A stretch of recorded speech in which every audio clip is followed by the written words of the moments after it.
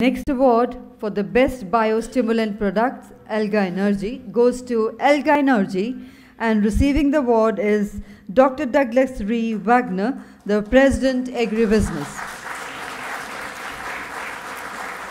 AlgaEnergy, the global biotechnology company headquartered in Spain, has been using advanced technologies to create and commercialize best-in-class microalgae-based natural biostimulant products for agriculture.